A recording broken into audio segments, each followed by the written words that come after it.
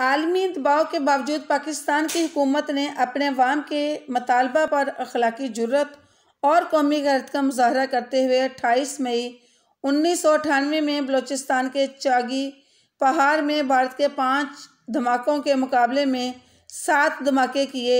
इन धमाकों के साथ ही पाकिस्तान दुनिया का सातवां और आलमी इस्लाम का पहला एटमी मुल्क बन गया।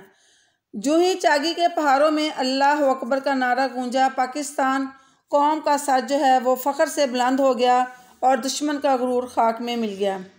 और इसके साथ पाकिस्तान का एटमी सफ़र भी एक मंजिल को पहुँच गया, जो पिछली कई दहाइयों से मुख्तलिफ़ अदवार से गुजरने और मुश्किल के बावजूद जारी व सारी रहा।